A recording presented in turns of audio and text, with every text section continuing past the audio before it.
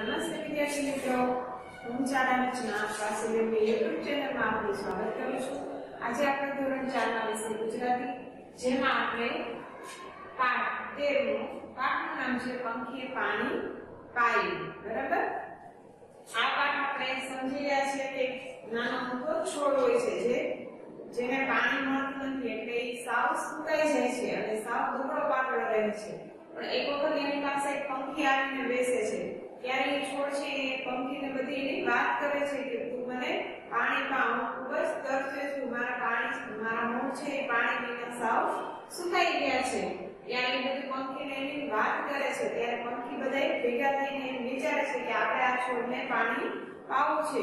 એટલે પંખીઓ છે એ બધે તળાવ અથવા તો તળાવના કિનારે જાય છે અને ત્યાંથી ચાંચમાં બધે પાણી ભરી ભરીને લઈ આવે છે અને રોજ આ છોડને પાણી પાય છે. પછી છોડ છે જે પોતે, આ પાણી મળવાથી તે પોતે ખૂબ જ મોટું ઘટાદાર અને મોટું ઝાટલું વૃક્ષ બને છે. બરાબર? એ આપણે આ પાઠમાં જોઈ ગયા છીએ. તો આપણે આજે આ પાઠના પ્રશ્ન જવાબ જોઈ લઈએ. તેમાં પેલો પ્રશ્ન છે કે ઢોર કોની પાસેથી પસાર થતા હતા? તો કે ઢોર નાનકડા છોડ પાસેથી પસાર થતા હતા. પણ એને કોઈ જોતું નતું કારણ કે તે પોતે છે સાવ નાનકડો એવો હતો એટલે કોઈને દેખાતો નતો પછી બીજો પ્રશ્ન છે કે છોડ સાથે સાવ બોળો થઈ ગયો. તો પોતે છે, છોડ છે સાવ નાનકડો છે. અને બકરી કેવી હોય? બકરી પણ નાની હોય. એટલે બકરી છે, એ ગાય જેટલી ઊંચી ન હોય. એટલે બકરી છે, એ છોડ છે, એ જોઈ જાય છે. એ છોડ પર જે બેચા પાના હોય છે, એ પણ એ બકરી છે, એ ખાઈ જાય છે. એટલે છોડ છે, એ સાવ ગોળો થઈ ગયો છે. ગોળો એટલે તમે કોઈ વૃક્ષ, તમે નાનું છોડ કે એવું જોજો, એના જે બધા પાના હોય બધા પાના તમે તોડી લો તો સાવ કેવો લાગે. પાંદડા હોય તો સરસ મજાનો છોડ લાગે. ને પણ જો પાંદડા બધા તોડી લો તમે તો સાવ ડાળી કેમ લાગે સાવ. સૂકી ડાળી, ખાલી ખાલી ગોળા જેવી લાગે એટલે કહે છે કે છોડ છે એ ગોળ છોડ છે એ સાવ ગોળો થઈ ગયો. કારણ કે બકરી છે તેના પાન છે એ ખાઈ જાય છે એટલા માટે. બરાબર? હવે ત્રીજો પ્રશ્ન છે કે પંખીના ટોળાને એક પંખીએ શી વાત કરી? તો કે પંખીના ટોળાને એક પંખીઓને એક નાનકડા છોડને પાણી પીવડાવવાની વાત કરી અને કીધું કે એ છોડ છે એ સાવ મૂંઝાઈ ગયો છે અને સાવ દુબળો પાતળો છે. એટલે આપણે બધા ભેગા થઈ અને એને પાણી પાયું. ચોથો પ્રશ્ન છે કે ઝાડની ડાળી પર બેસીને વાલીએ શું કર્યું? તો કે જ્યારે ઝાડની ડાળી પર વાલી બેસે છે ત્યારે તે પોતે વાલી છે. એટલે આપણે ચોમાસામાં જોઈએ કે વાદળાઓ ઘણા બધા આપણે કહીએ છીએ, જો કે વાદળું આવે છે ને એટલે વરસાદ આવશે ક્યારે ચોમાસામાં. એટલે એની જે વાદળ છે એ ઝાડની આગળ ઉપર, બરોબર ઝાડની ઉપર આવીને ત્યાં ધીમો ધીમો વરસાદ કરે છે.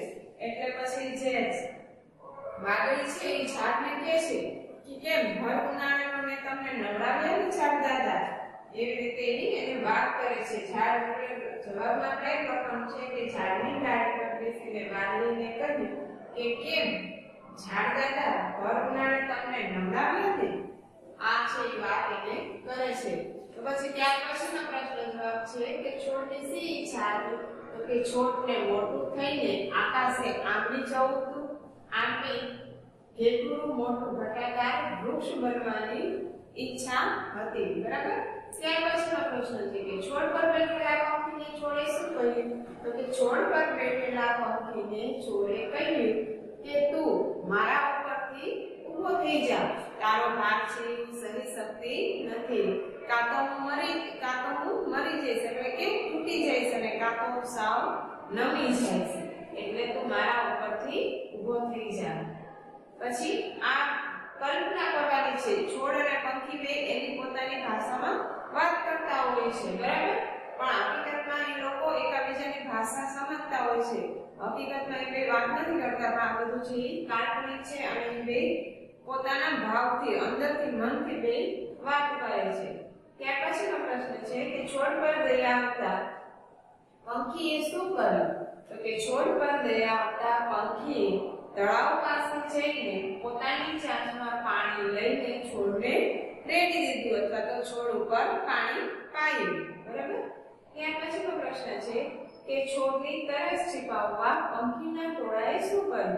તો કે છોડની તરસ છીપાવવા પંખીના ટોળાએ તળાવમાં, તળાવમાંથી ચાંચમાં પાણી લઈને બધા પંખીઓએ પાણી પાયું.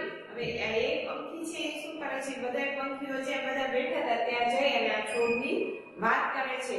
અને છોડને છે એ બધા પંખીઓ થોડો થોડો ચાંચમાં પાણી લઈ આવે અને રોજ ઝાડ ઉપર રોડ રેડતા હતા. તેથી પા જે છોડની તરસ છે એ પણ છીપાઈ ગઈ અને છોડને પૂરતું પાણી અને પોષણ પણ મળી ગયું અને એક વખત, એક સમયમાં જે છોડ છે એ ખૂબ જ મોટું ઝાડ બની જાય છે. બરાબર? તો હવે આ તમારા અહીંયા પાઠ પ્રશ્ન જવાબ થઈ ગયા છે. તો તમારા ટોપિક બુકમાં લખી લેવાના રહેશે. ફરી મળીશું નેક્સ્ટ લેક્ચરમાં થેન્ક યુ